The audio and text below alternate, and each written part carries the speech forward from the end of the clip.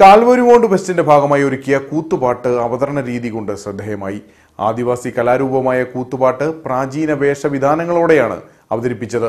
Forest ഡിപ്പാർട്ട്മെന്റിന്റെ സഹകരണത്തോടെയായിരുന്നു കൂത്തുപാട്ട് നടത്തിയത്.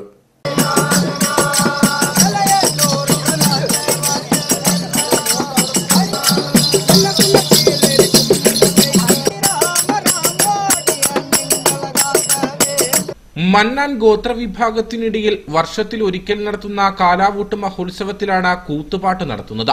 ഏഴ് ദിനരാത്രങ്ങൾ കൊണ്ടാണ് സാധാരണ രീതിയിൽ കൂത്തുപാട്ട് പൂർത്തീകരിക്കുന്നത്. കോവിലന്റെയും കണ്ണകിയുടെയും കഥയാണ് കൂത്തിലെ പ്രമേയം. അരിപ്പൊടിയും വെളിച്ചെണ്ണയും ചേർന്ന കൂട്ടാണ് മുഖത്ത് തേക്കുന്നത്. കയ്യിൽ വളയും കാലിൽ ചിലങ്കയും അണിയും. ആണുങ്ങൾ മുണ്ടെടുത്ത തോർത്ത് തലയിൽ കിട്ടും. കുലദേവതകളെ സ്മരിച്ചുകൊണ്ടുള്ളതാണ് ആചാരപ്പാട്ട് നടത്തുന്നത്. ഇലത്താളത്തിന്റെ രൂപത്തിലുള്ള ചാരൽ തുകൽ കൊണ്ടുള്ള മത്താളം എന്നീ ഉപകരണങ്ങളാണ് വാദ്യത്തിനായി ഉപയോഗിക്കുന്നത്. അങ്ങനെ ഒരു കല കലാരൂപമാണ്. ഈ കാലാകൂട്ട് സമയത്താണ് ഇത് അവതരിപ്പിക്കാറുള്ളത്. പക്ഷെ ഇങ്ങനെ ഒരു വേഷവിധാനം ഇട്ട് ചെയ്യുന്നത് നമ്മൾ വനാന്തരങ്ങളിൽ പൊങ്കൽ പൂജ പോകുന്ന കാല അളവിൽ ആ ഒരു പ്രത്യേക സമയത്താണ് നമ്മൾ ഇതുപോലെ നാച്ചുറൽ ആയിട്ടുള്ള ഡ്രസ്സുകൾ ഉപയോഗിച്ചുകൊണ്ടുള്ള നൃത്തരൂപം നമ്മൾ ചെയ്യുന്നത്. ഇത് നമുക്ക് ഇവിടെ ഈ കാൽവരി മൗണ്ടിലെ ഫെസ്റ്റുമായി ബന്ധപ്പെട്ട് നമുക്ക് forest department Thekkady Periyar tiger റിസർവിലെ deputy director അറിയിച്ചതനുസരിച്ചാണ് നമ്മൾ ഇവിടെ നിന്ന് ഈ പ്രോഗ്രാം ഇവിടെ നിന്ന് ചെയ്തുകൊണ്ടിരിക്കുന്നത്.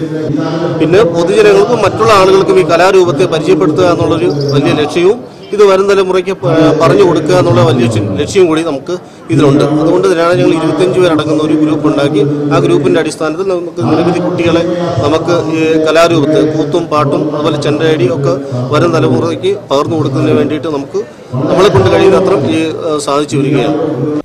കാൽവരി മൗണ്ടിൽ ഫെസ്റ്റിന്റെ ഭാഗമായി വനം വകുപ്പുമായി സഹകരിച്ചുകൊണ്ടായിരുന്നു ആദിവാസി കലാരൂപമായ മന്നാൻ കൂത്തുപാട്ട് അവതരിപ്പിച്ചത്.